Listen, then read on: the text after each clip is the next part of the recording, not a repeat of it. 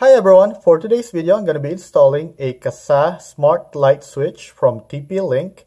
So this is a single pole that will connect to your Alexa or uh, Google Home and this is how it actually looks like. So you can see right now it have its own plates but for me I have three switches right here. I want to replace this middle switch. So basically I wanted to be able to uh, control this. Uh, number one is from Alexa and so that when we go on vacation I can schedule some of the switches in our room so that it will turn on and off at certain time. Since this one have a built-in uh, box I think we can actually remove this because it has just snap in it okay? So the first thing you want to do before you remove the cover on this is to go to your panel and turn off the breaker. Okay so for me I have my uh, fuse box labeled and I know that this lighting label right here is the one that controls the light switch in my room upstairs so I'm just gonna turn this thing off.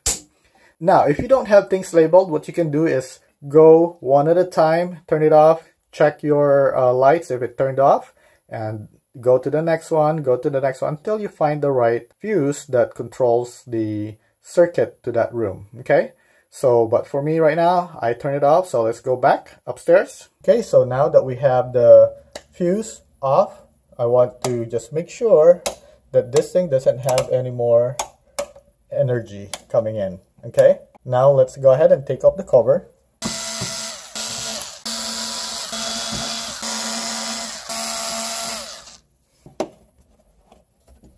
So let me go ahead and remove this first from the plate and measure it before I actually remove the whole thing okay? So to separate this from the plate all you have to do is just snap it out okay? So right there. And I want to make sure that it fits right here okay? It looks like it does. Okay that's good. So everything fits well all the holes. Okay so let's go ahead and continue. Let me remove this. Okay so this is my ground. Let me take that thing out. Okay so what we have here is a ground wire and a live and a load wire right here. But what we're missing is the neutral wire. So the smart light switch if you look over here will require a neutral wire. So for, for it to work. So what we're gonna do is we're gonna have to remove the other. It looks like I saw a neutral wire right there. It's just not connected to the switches. So I'm gonna remove this one and check if I can um, put that thing in there. Okay so let me go ahead and remove it. Okay so let me just put this thing aside. Over here I see a neutral wire right there. So this is where I'm going to install the other cord. So let me go ahead and remove this.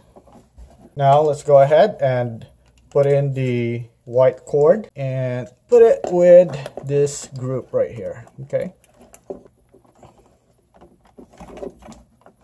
So I'm going to move this thing right here because this is the one on the side and I'm gonna be taking these two uh, wires out. So if you look over here you have the line and load wire right here. For the TP-Link it doesn't really matter which one of this you connect to this. So you can just take this two out and connect it with this right here. So now I'm gonna have to connect one of this into one of this uh, block wires. So let me go ahead and start with this wire right here. Okay.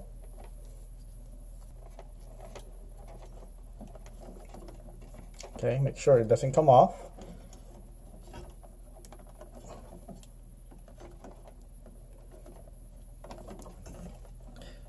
I'm gonna go ahead and put this one right here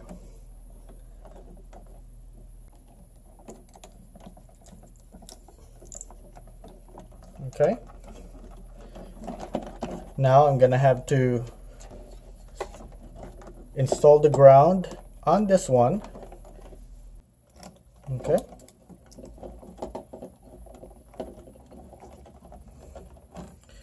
Okay, so now we're gonna have to tuck everything back in.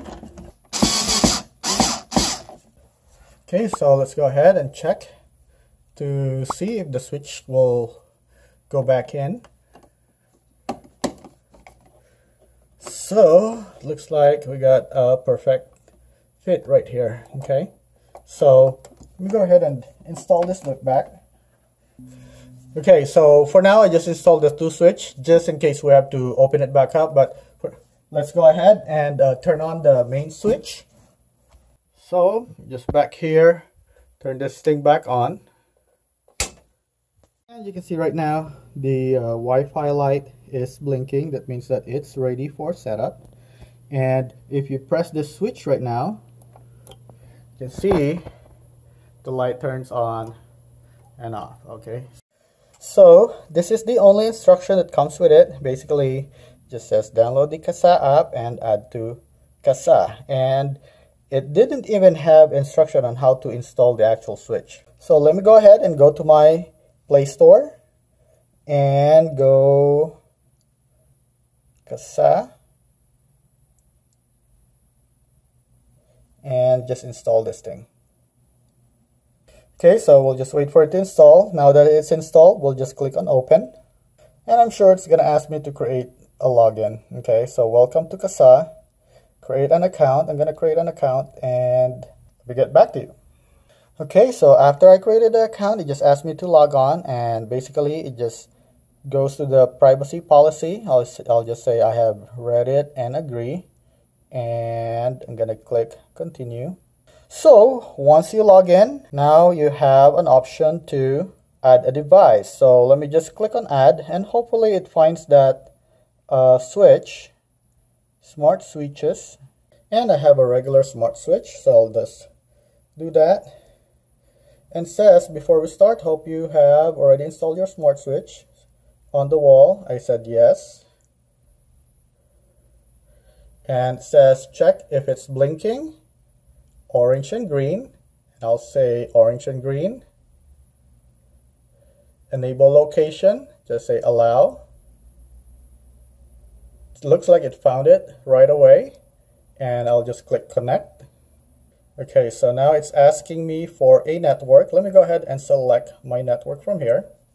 So after I selected my network, it says to go to your Wi-Fi and make sure that uh, my network 3GK is selected. Okay, so after I connected to my network, now it's asking me to name my device. So I'm just gonna name it Light and click next.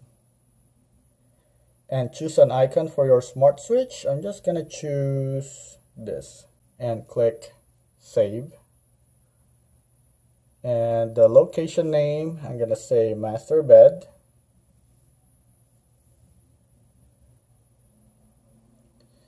And now the light switch is configured and ready to use. Sounds good. Okay so now I have my light switch right here. So if I click here so you look here right now turn it on turn it off turn it on turn it off. Okay, so now let's go ahead and uh, add the TP-Link to Alexa.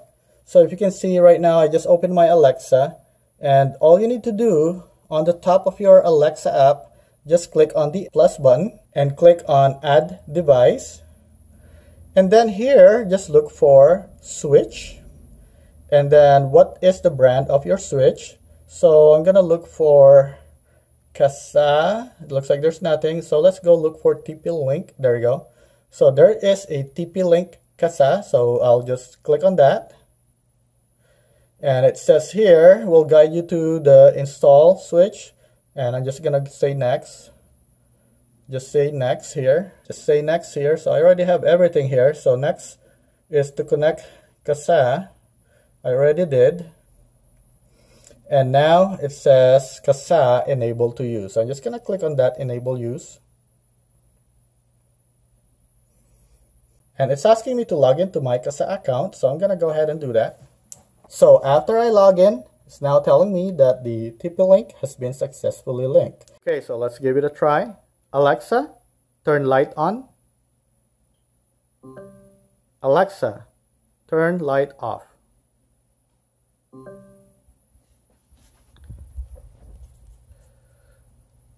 Alexa, turn light on. Alexa, turn light off.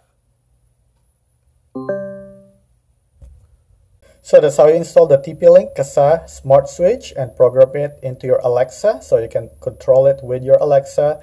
And I hope that you found this video helpful. Please make sure to click the like button below to help my video trend higher in YouTube algorithm. And also please subscribe to my channel and thank you for watching.